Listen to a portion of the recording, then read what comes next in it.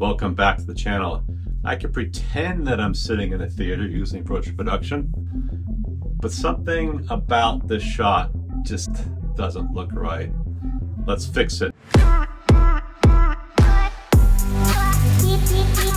We'll get back to that opening shot to see if we can make some fixes, either in post-production or if you are shooting your final pixels in the app, we need to make those corrections before you begin recording.